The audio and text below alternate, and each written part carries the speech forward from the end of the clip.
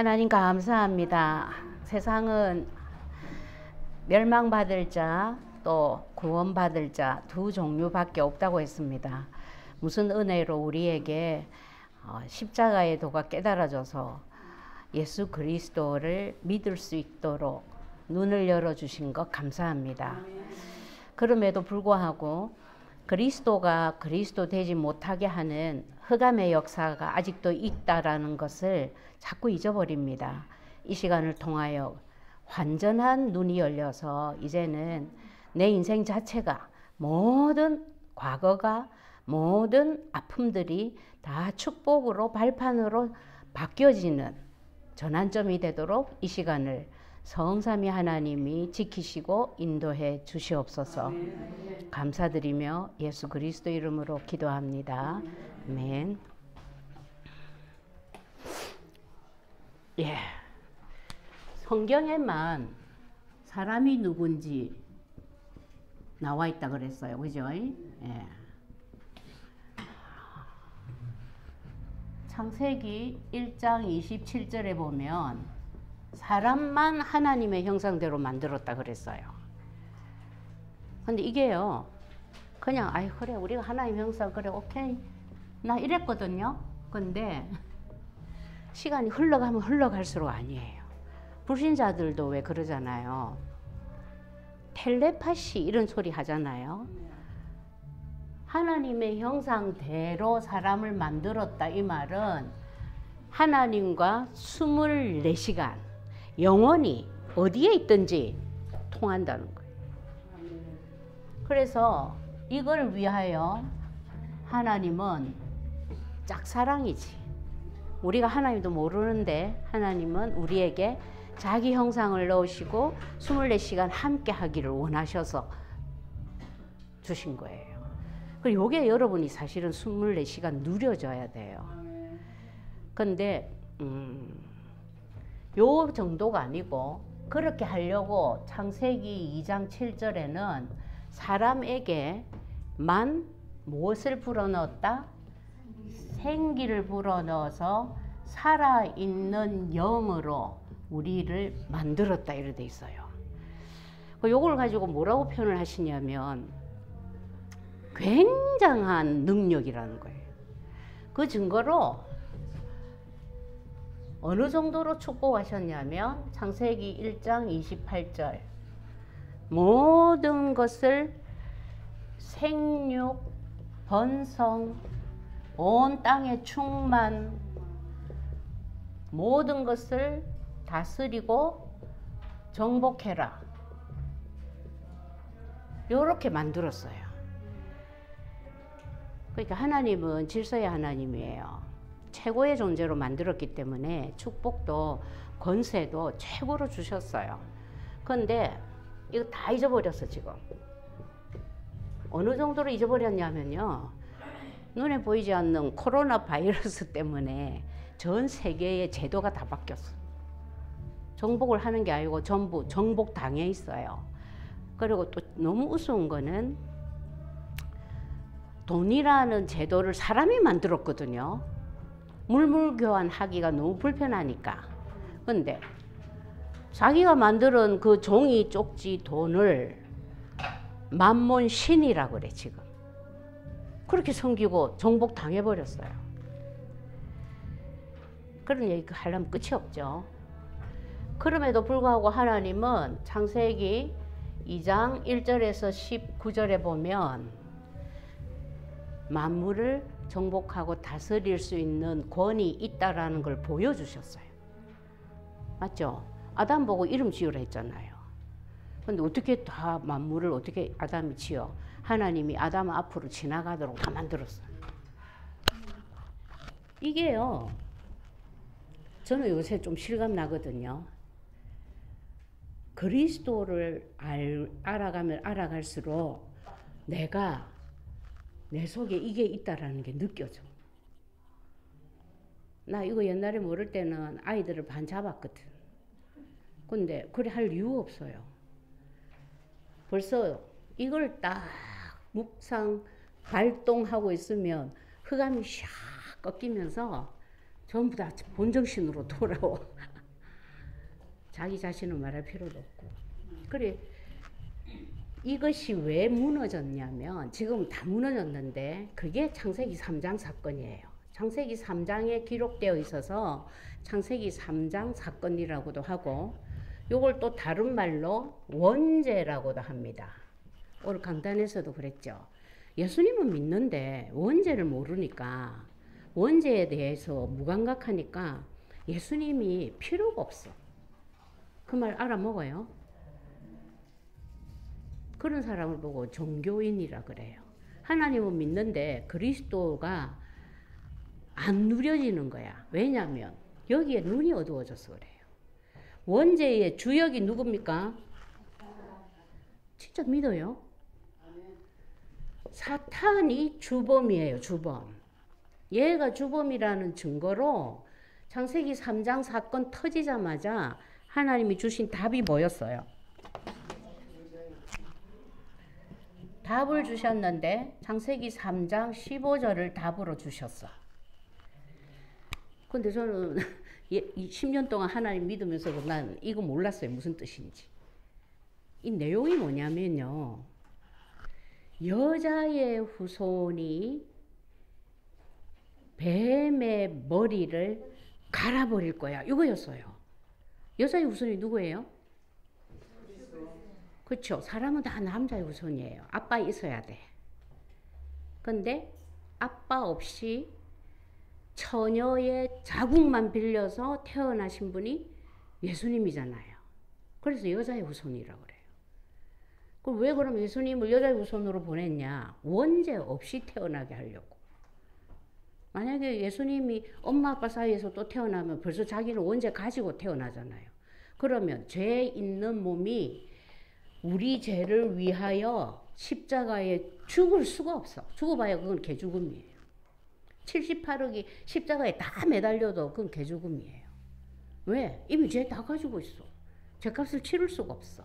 그래서 여자의 후손으로 오셨는데 그 여자의 후손이 하시는 일이 뭐냐면 뱀 머리를 갈아버리겠다 그래서 그 말은 하나님은 뱀 머리를 깨지 아니하면 이 사건을 해결할 수 있다 없다 없다라는 얘기예요.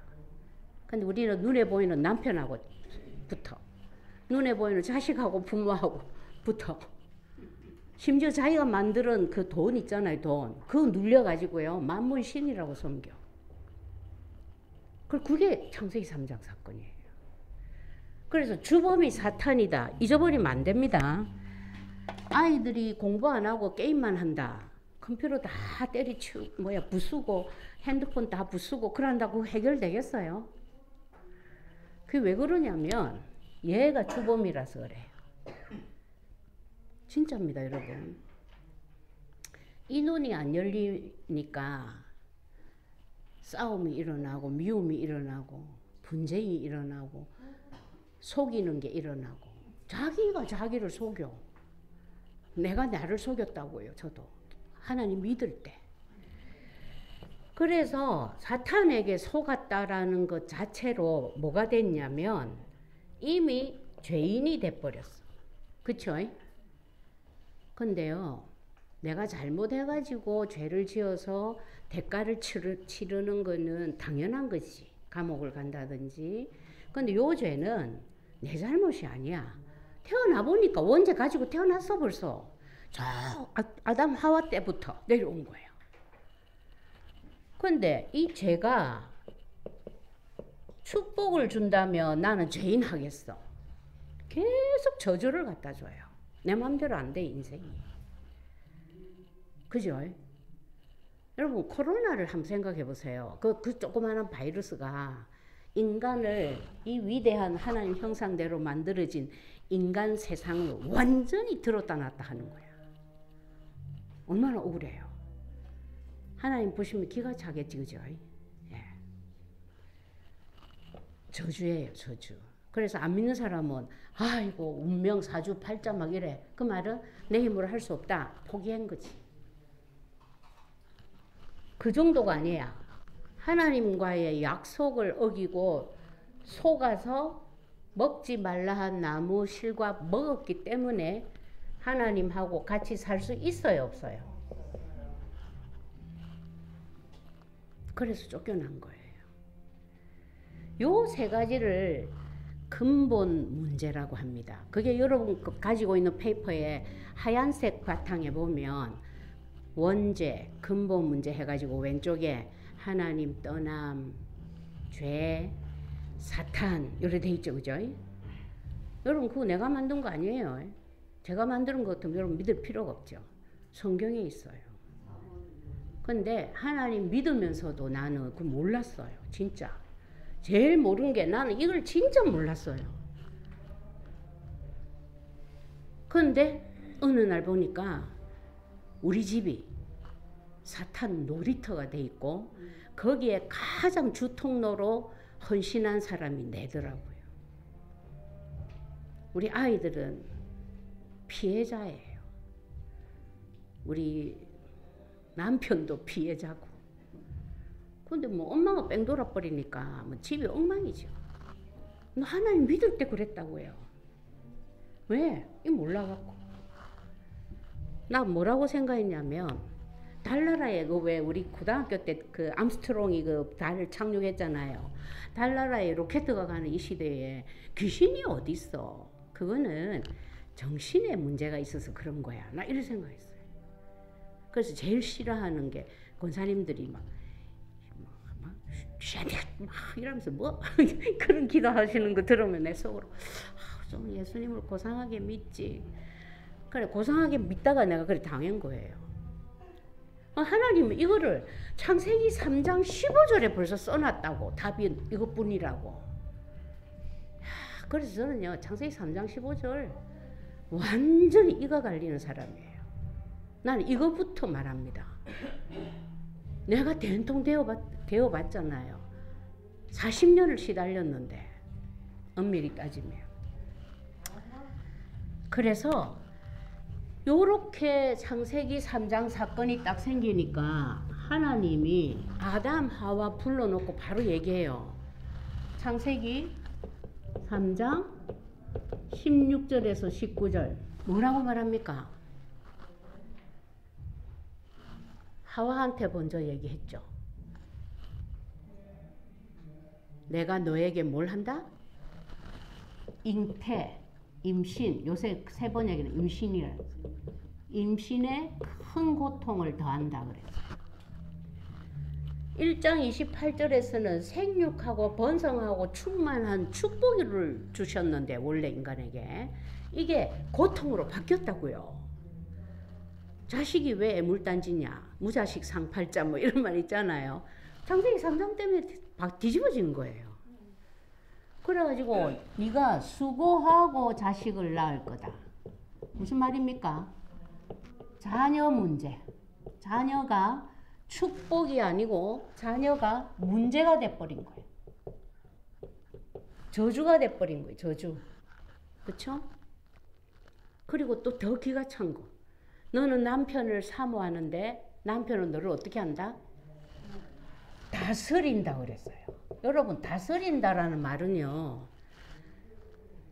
노예하고 주인하고 사이에 사는 소리예요. 그러니까 부부 사이가 어떻게 돼버렸다? 사랑하는 아껴주는 사이가 아니고 노예처럼 돼버렸다는 거지. 종업원도 다스리면요 나가요. 큰일 나지. 맞죠? 예. 그래 이걸 보고 뭐라고 해요? 가정 문제라 그래요. 가정 문제가 언제 생겼냐? 창세기 3장. 동의하십니까? 그럼 다른 말로 가정 문제의 답은 뭐다? 3장 15절밖에 없어요. 근데 옛날에 우리 할머니가 그러시더라고. 우리 막내 고모가 이제 어, 고모부가 약간 그때 조금 한량이었어. 그 우리 할머니가 어, 반대했는데 둘이서 뿍뿍 우겨가지고 결혼을 했어. 그래가지고 결국은 이혼을 했어요. 그때 우리 할머니가 그러시더라고. 아이고, 아무리 그래도 구관이 명관이다. 참아라. 그러더라고요. 아이고 뱀을 피해봐라. 아 범을 뭐 뭐라 하더라 여우를 피해봐라. 범을 만난다. 뭐 이러시고. 그나 그게 무슨 소린가 했더니 이제 보니까 이거예요 이거. 네. 그러니까 그리스도 말고는 답 없어요. 이혼, 삼혼, 사혼, 오혼 해보세요. 여러분 그 스페니시 가족들 보면 아이가 성이 한 다섯 개 있는 애들도 있더라고. 그럼 아빠가 그렇게 바뀌었다는 거지, 그죠? 그답 있어요? 없어요. 왜? 하나님이 뭐라고 했냐면 주범이 요거야. 그 남편 아무리 바꿔봐야 안 된다는 거예요. 또 더 무서운 거는 아담 보고 뭐라 했어요? 내가 너더러 먹지 말라 한 나무 열매를 먹었기 때문에 어떻게 한다? 너는 죽을 때까지 종신토록 뭐 해야 된다? 얼굴에 땀이 나야 된대. 남자는 좀 더 불쌍해요. 대표자라서 그런 것 같아. 근데 더 기가 찬 거는 이렇게 하는데 심지도 않은 뭐가 자란다 했어요? 아니, 곡식을 심었는데 가시덤불 엉겅퀴가 자랄 거래. 무슨 말입니까? 심은 대로 거둔다 못 거둔다. 그래서 사는 게 이렇게 어려운 거예요. 그리고 또 결국 제일 비참한 거. 너는 흙이니 흙으로 돌아간다. 창세기 3장 원죄가 없는 사람은 안 죽어요. 이 원죄 때문에 죽음이 왔다고요. 예. 박사도 죽고 노벨 평화상 받은 사람도 죽고 다 죽어요. 예. 그 요걸 보고 인생이라 하잖아요. 인생. 그 하나님이 네 앞으로 네 인생이 요렇게 될 거다라고 말했어. 그런데 하나님은 질서의 하나님 답부터 주시고 말했어요. 아멘입니까? 그런데 이 답은 몰라. 인생 문제만 너무 괴로워. 그래가지고 하, 점치러 가고 어디로 가고 마음대로 엎, 엎드리고 절하고 막 빌고 난리 났어. 네. 하나님을 믿는 사람도요. 옛날에 저처럼 종교인으로 살면 끊임없이 당합니다. 얘한테. 제가 얼마나 당했냐. 차라리 이래 살 바에 빨리 천국 가는 게 낫겠다 하면서. 자살 기도를 세 번이나 했어. 얼마나 힘들었으며. 아니, 왜 그러냐면, 그, 그, 우리 목사님 약국 할 때 그 전포동 그 산동네예요.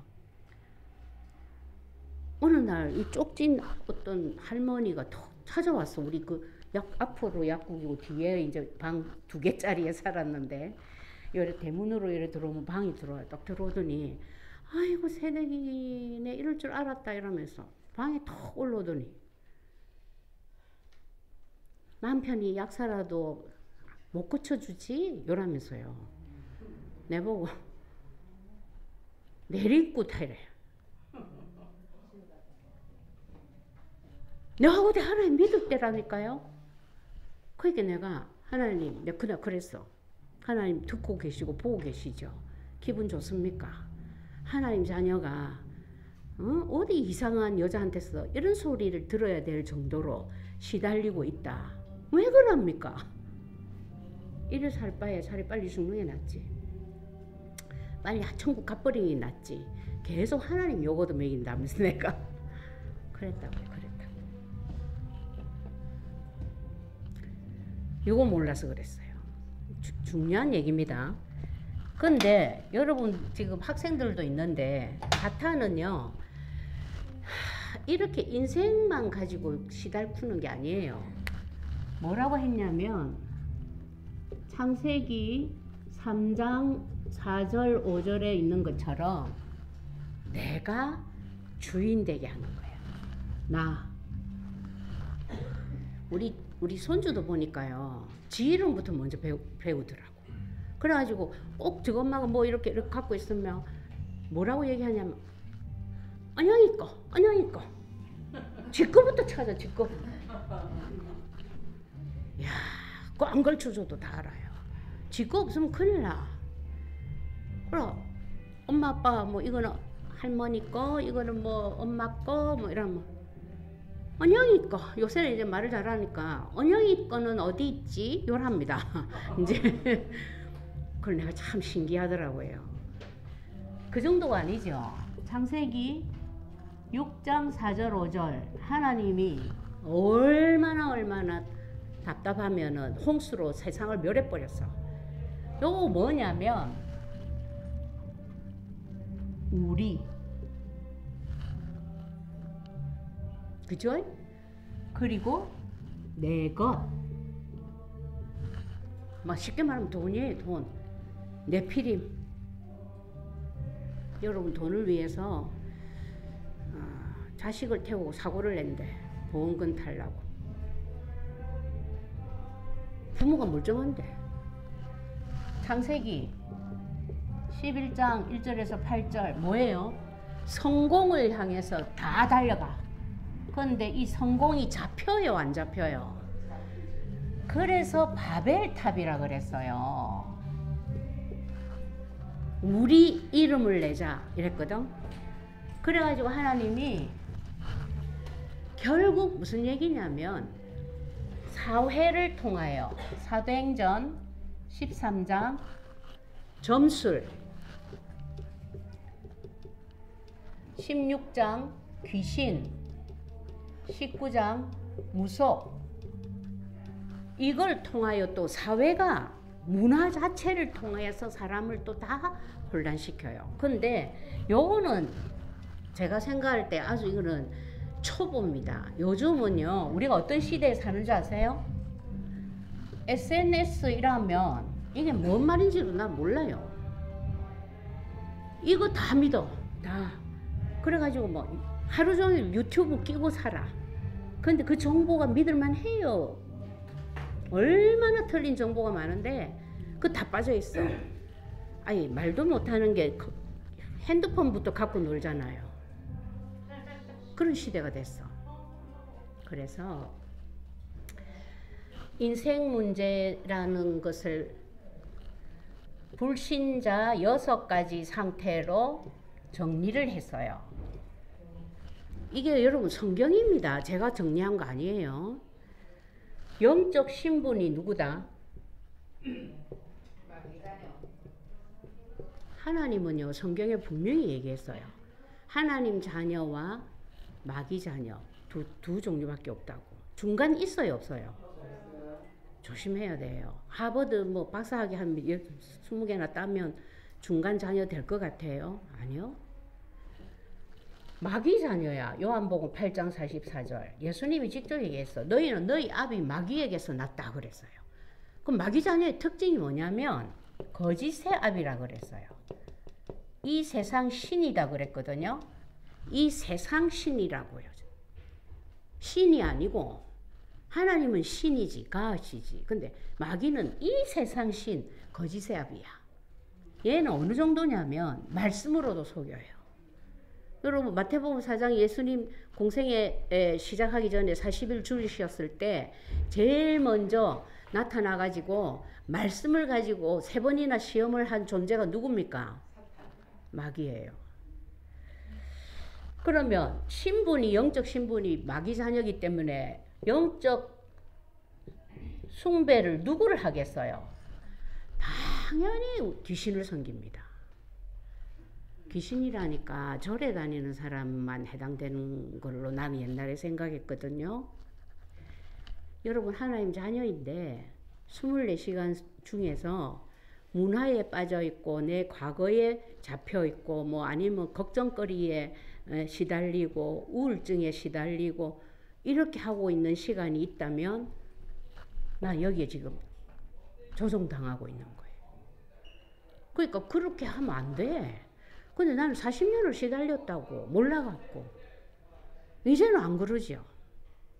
이제는 예. 시달리려 하다가 어? 아, 요거 봐라. 그씨 웃습니다 내가. 아, 오늘 또 무슨 중요한 하나님의 응답이 있으려고 요게 또 아침부터 이렇게 설치지 이러고 웃어요. 그럼 끝나는 거지. 근데 나는 옛날에는 시달려가지고 잠도 못 자고 별짓을 다 했거든요. 자, 이렇게 우상을 계속 마귀 시키는 대로 하면 뭐 어떻게 될까요? 정신 정신 문제가 오는 거예요. 맞죠? 불면, 불안, 짜증, 우울, 뭐 공황. 요즘은 이거 뭐 뭡니까? 병명 이름도 나 다 모르겠어. 그래 하다가 결국은 정신이 고장이 나면 당연히 육신도 망가집니다. 예, 잠 못 잤는데 소화기관 나빠져. 무슨 말인지 알죠? 그리고 뭐 난폭한 사람으로 바뀌기도 하고, 아니면은 뭐 아이들을 때려잡기도 하고, 뭐 그건 힘 있을 때 하는 거고, 그것도 시기 넘어가면 힘도 없어요. 네. 그 다음에 뭐가 와요? 요렇게 살다가 어디 가요? 그걸 보고 내세 문제라 그래요. 야, 근데요. 불신자니까 지옥 가는 거 맞아. 자, 여기서 또 끝이 아니에요. 굉장히 중요한 게 하나 있어요. 저는 사실 이거 듣고 충격받았거든. 지옥 가고 나면 끝나겠지. 아니면 천국 가고 나면 끝나겠지. 이런 생각했거든요. 근데 내가 살던 사이클에다가 곱하기 3 정도 해가지고 후대에 대물림 해주는 거야. 이것도 성경에 있어요. 출애굽기 20장 4절 5절. 그럼 제가요 이걸 딱 듣는데 나 한, 나는 마귀 자녀 아니었어요. 하나님 믿었거든. 하나님 자녀야. 그럼 나는 어, 지옥은 절대 안 가고 천국 간다고 믿고 있었어. 근데 나머지 2, 3, 4, 6, 네 가지는 전부 내한테 다 있는 거야. 내가 충격받았잖아요. 왜? 간단해요. 하나님이 믿으라는 대로 안 믿어서 그래. 하나님은 창세기 3장 15절만이 답이야. 너를 이렇게 지금도 속이는 존재가 계속 활동할 거기 때문에 내가 가서 머리 박살 내줄게. 그럼 너는 그리스도 이름만 불러. 여자의 후손이 그리스도를 말하잖아요. 그죠? 그런데 이 답을 안 써. 몰라. 그래가지고 뭐 응? 친구하고 싸우고 남편하고 싸우고 아내하고 싸우고 그러고 있는 거예요. 자, 그래서 결국 하나님이 오셔서 하신 일이 뭐냐? 사탄 어떻게 해결했죠? 머리 박살 창세기 3장 15절 그죠?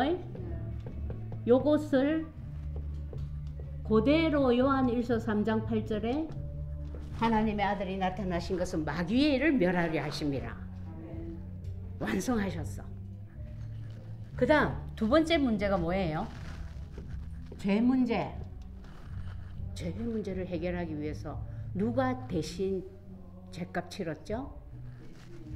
예, 예수님이 십자가에서 대속물로 돌아가셨어요. 죄값 치르려고. 그걸 마가복음 10장 45절에 여러분 가지고 있는 paper 오른쪽에 보면 두 번째 참 제사장 나와 있어요.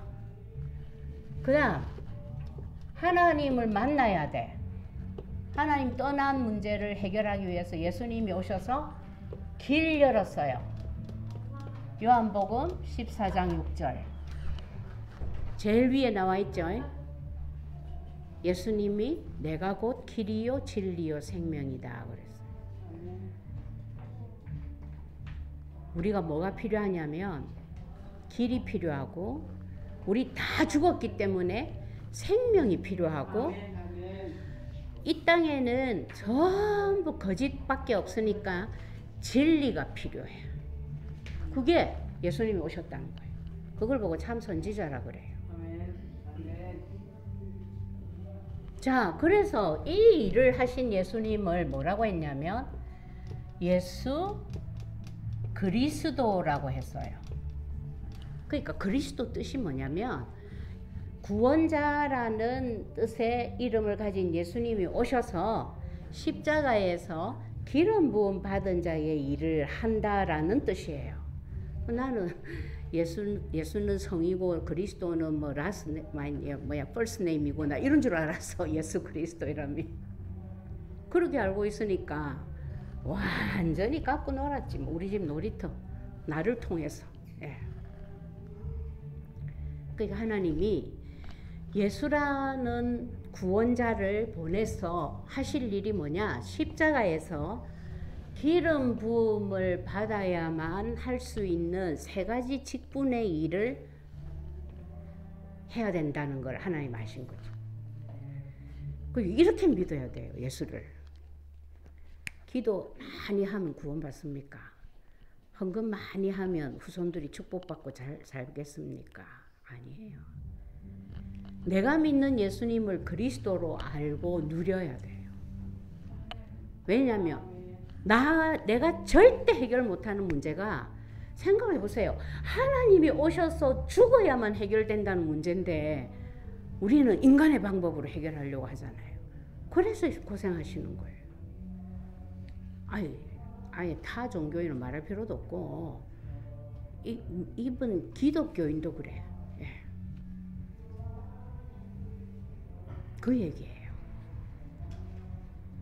그냥 교회 가서 열심히 기도하고 헌신 봉사 사랑하면 되겠지. 아니요. 그걸 보고 종교를 합니다. 예수 그리스도를 진짜 제대로 알고 믿는 사람은요. 최고의 헌신 봉사를 할 수 있어요. 그게 뭐냐면 그리스도를 몰라서 죽어가는 자들에게 그리스도를 전달하는 거. 이게 또 하나님의 소원이야. 어느 정도 소원이냐? 하나님이신 분이 오셔가지고 대신 죽으실 정도로 사람을 살리고 싶은 게 하나님 소원인 거예요. 그래서 이 예수 그리스도를 어떻게 하면 되냐? 직분을 많이 높은 데 가면은 끝나겠어요? 그런 거 없어요. 그냥 알았냐? 오케이? 그럼 그 그리스도이신 예수님이 지금 나의 주인이 되면 끝나겠네. 깨닫고 시인해 버리면 끝이다 했어요. 제가 마흔 살에 이제 이 말씀을 들었는데 제일 처음에 내가 놀란 게 뭐였냐면 내 속에 예수 그리스도가 있다라는 것도 몰랐어요. 그냥 나는 하나님 믿는다 이러고 있었어. 그리고 그리스도가 뭔지도 몰랐고 그리스도의 필요성도 나는 몰랐고 왜 귀신 사탄 마귀 이런 거 나는 이상한 거 나 안 믿는다 이랬거든요. 그내 착각이지. 난 아주 고상하게 믿고, 믿고 하나님을 믿고 아주 고상하게 사탄의 놀이, 어, 놀이개감이 됐어요. 예. 그래서 여러분이 이미 믿고 계시는 그 예수님이 우리가 절대 해결 못하는 창세기 3장 사건. 창세기 3장 15절을 성취시키기 위하여 십자가에서 완전히 우리의 세 가지 저주 문제를 해결하시고 완성하셨다. 그래서 그리스도다. 오케이? 이제 알겠습니다. 이 그리스도가 나의 주인이 되고 우리 가정의 가문의 호주가 되고 세대주가 되어 주세요. 저 계속 그렇게 기도했어요. 우리 가부는 우리 목사님도 그렇고 우리도 그렇고 윗때부터 예수 믿은 사람이 한 명도 없어요. 제가 1호, 우리 목사님네도 목사님이 1호. 한 명도 없어요. 우때에도 없고 사촌에도 없고 팔촌에도 없고 굉장하죠, 그죠? 1년에 제사를 28번씩 지냈어요, 우리 집은. 우리 아버지가 4대 종손이었거든요. 완전히 속았지. 근데 지금은 예, 지금은 벌써 목사 어, 그것도 이 아주 이, 이 복음 정확한 이, 이 교단의 어, 목사 사모 지금 몇 명인지 몰라요. 대단하지 그죠? 너무 신기한 거는 이 대물림이요. 출애굽기 20장 6절로 저한테 하나님이 주셨어요. 출애굽기 20장 6절 말씀이 뭔지 모르시죠? 나를 사랑하고 내 계명을 지키는 자에게는 자손 천대까지 은혜를 베푼다 그랬어. 이게 나 너무 무서웠거든요. 이거 듣는 순간. 아니 내 같은 저주를 내가 또 물려주고 가라고 세 배 네 배로 내려간대. 근데 다 그리스도 알고 나니까 6절로 딱 바꿔주셨어요. 그걸 나는 아 이제 죽어가지고 천국 가가지고 보겠지 이랬는데 나 지금부터 보고 있다니까요. 말씀은 진짜 성취돼요. 야 이걸 보고 운명사주 팔자가 뒤집어졌다는 거예요, 여러분.